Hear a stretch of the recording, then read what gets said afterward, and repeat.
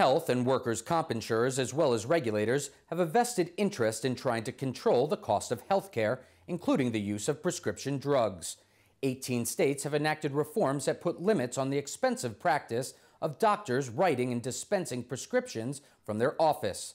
A study by the Workers' Compensation Research Institute, however, found that some physicians are finding ways around the restrictions.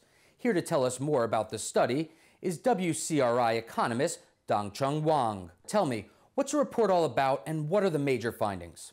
Well, before I get into the major findings, let me just set up a stage a little bit. Uh, physician dispensing, this is probably not a strange word, uh, phrase, but uh, it, it's basically about physicians uh, dispensing drugs to their patients at their offices and charging and get paid much higher prices. You won't see this in a lot of places, but in workers' comp, it's pretty prevalent.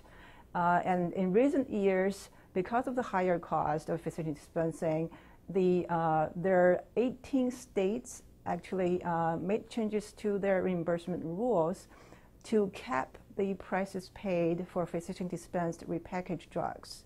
So uh, it's basically the mechanism is like uh, to try to get reference price, lower reference price. So when you uh, when you decided how to pay, how to reimburse the repackaged drugs, you can get lower reference price and pay at that price instead of paying higher prices for the repackaged drugs.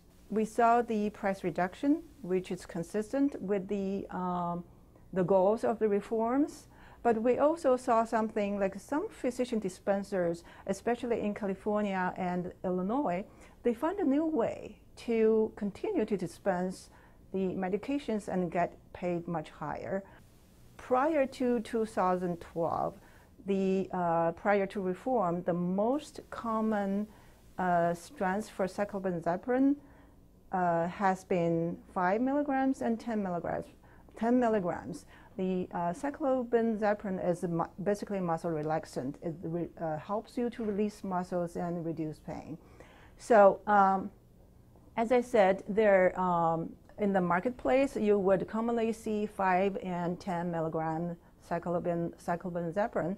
But after reforms, we started seeing this 7.5 milligrams getting in the market and quickly uh, picked up by some physician dispensers.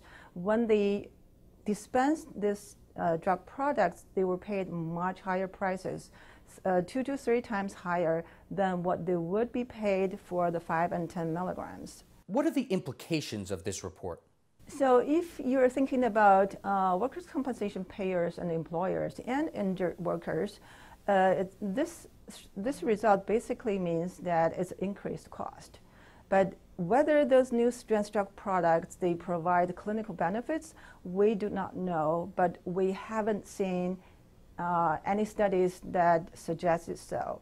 But I think most importantly, the uh, the, it really raises question about the effectiveness and sustainability of the, the recent reforms on physician dispensing.